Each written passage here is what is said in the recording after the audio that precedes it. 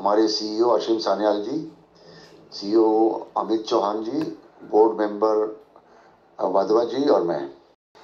बारह बजे हम लोग पहुँचे और जय भगवान जी वहाँ थे, जीत सिंह जी के साथ, जो लेबर कॉन्ट्रैक्टर हैं। ये इन्होंने पंडित जी का एग्ज़ाम किया था, जो वहाँ पूजा हुई और पहली पाँच ईटों का पूजन हुआ, उसके बाद एक कलश की पूजा की गई, मंत्र पढ़े गए और हिंदू रीति के अनुसार भूमि पूजन के लिए जो भी उपयुक्त सामग्री है, वो जुटाई गई थी। और कलश को एक नारियल के साथ मंत्रोच्चारण के नीचे एक इस प्लॉट के उत्तर पूर्व वाले कोने में एक गड्ढा खोदा गया था और उस गड्ढे में इसका, इसको डाल दिया गया और पाँच ईंटें, पहली पाँच ईंटें और सीमेंट वगैरह डाल के ये कार्यक्रम संपन्न हुआ। और ये कार्यक्रम करीब 45 मिनट 50 मिनट चला। आज बहुत खुशी का अवसर है जब हम इस बिल्डिंग का नींव रख रहे हैं। डीडीए के लैंड के ऊपर रोहिणी सेक्टर 22 प्लॉट नंबर 6 पर।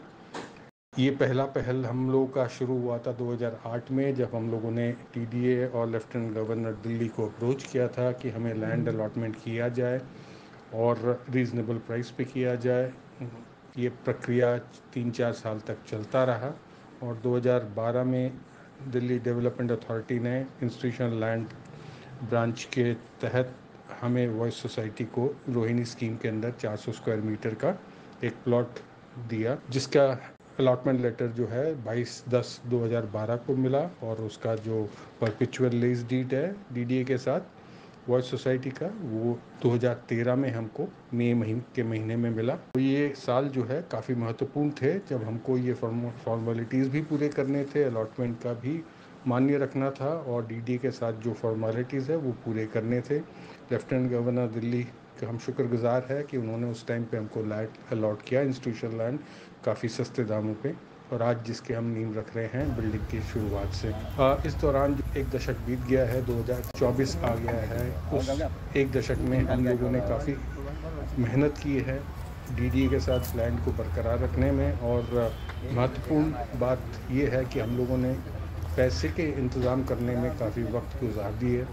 और इस पैसे के इंतज़ाम में चार पाँच साल हमें इंस्टीट्यूशन लैंड के अगेंस्ट में जो है बैंकों से लोन लेने की हमने कोशिश की, फिर फाइनेंशियल इंस्टीट्यूशन से लेने की कोशिश की, जो हमें आज तक नहीं मिला है। उसके बाद हम लोगों ने ये डिसाइड किया कि हम पैसे इकट्ठे करेंगे इसके लिए। और तकरीबन 2018 से हमारी ये कोशिश जारी है। और आज तक हम लोग जिन्होंने जो पैसे इकट्ठे किए हैं अलग अलग जगह से उसको हमने एक अकाउंट में रखा था, उसको हमने बिल्डिंग अलॉटमेंट फ़ंड के नाम पे जमा किया था, वो बैंक में हमने रखा हुआ था और इसी पर्पस के लिए यूज़ करेंगे, ये तय किया था।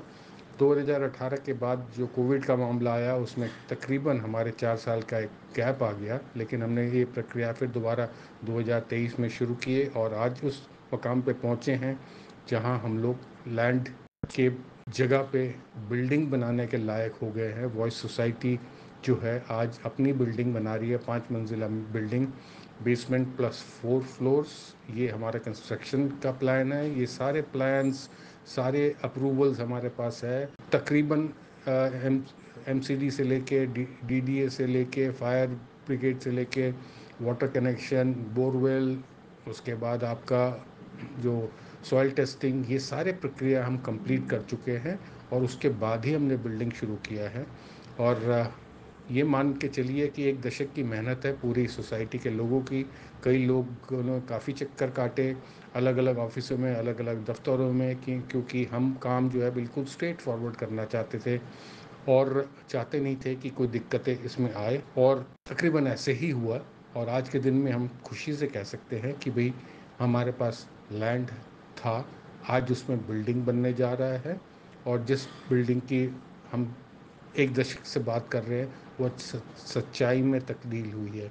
वॉइस सोसाइटी और सभी मेंबर्स को बहुत बहुत मुबारक।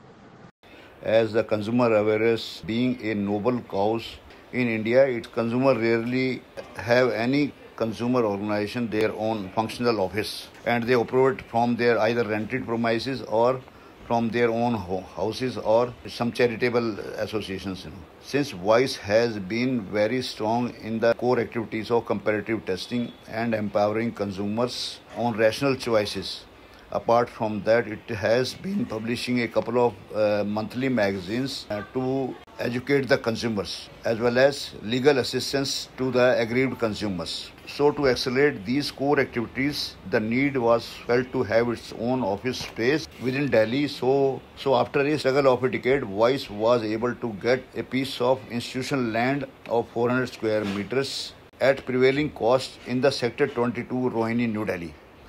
But the next challenge have been to how to construct the entire building uh, within the allotted period.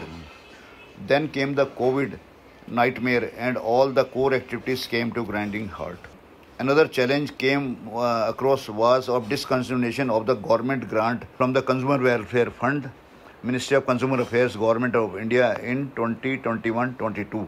Uh, thereafter, contributions started pouring in and so decided to go ahead with the building construction where Bhumi Pujan was performed on last Friday and the ice breaking ceremony was performed there at the project site.